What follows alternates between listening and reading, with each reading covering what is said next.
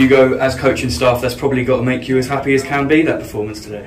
Uh, well, yeah, we've won, so yeah, delighted. Um, some things we think we can do better. Um, we'll keep working on them, but the most important thing now is yeah, we'll enjoy the win for about three minutes, and now we've got to move on very, very quickly. Looking back at the game, uh, very clinical from the forward guys. Four goals, it's always a bonus, isn't it? But especially James Henry, two goals from him, and one goal as well earlier. Forest Green, first game of the season. Where's ja- yeah, James's finishing is good. You know, we see it in training all the time, and you know he's dipped in with goals all his career, isn't he? You know, so yeah, look, he, he both both the ones he took were great. His passing behind for Ash Ashley Akpan, what a cross, what a finish. I'm delighted for Ash, you know, so and, and for James.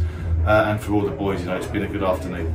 Yeah, what I was going to say about Ash is come on to make his full shots debut there today. I mean, brilliant player, isn't he? We've all seen it behind the scenes, but he can show that today. He's been very, very patient. There was times last season I felt a little bit sorry for him because he was travelling up and down the country with the squad and basically just doing his after-match running, you know, and uh, he, he deserves plaudits that he might get this afternoon. I won't go to his head, you know, he's a good lad, you know, but we know he's a good player uh, and we know what he's capable of. His, his attitude's been first class and he's, he's been unlucky that it's taken this long to get him on the pitch, but uh, you know, good, good for him, really pleased with him.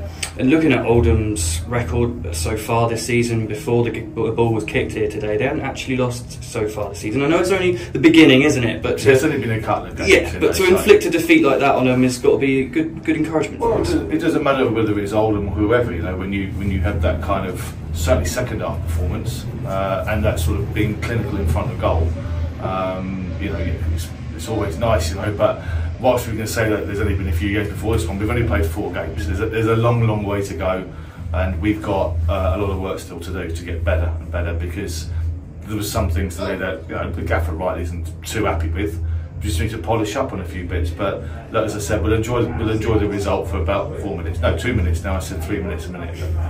I spoke with Tom before the game, and we said about how sometimes a late winner against you is, is tough for the players to take, and we spoke about how the players would react to that. That's a good reaction to that, isn't it? Yeah, look, you know, I thought the back three again were very, very good today.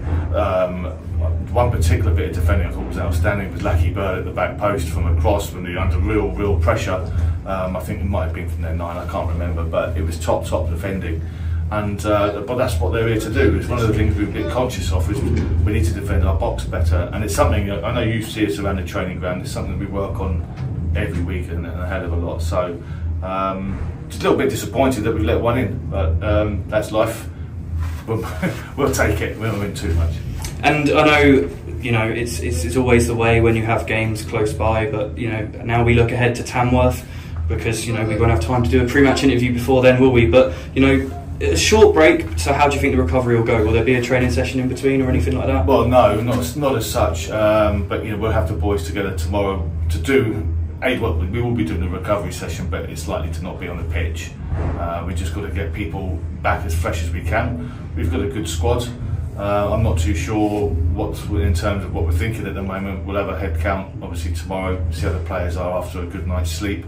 Um, but that's the most important thing between now and Monday is is to freshen them up a bit and also sleep. And he's if they have two brilliant nights sleep, um, that'd be really really useful. That's the best best way to recover.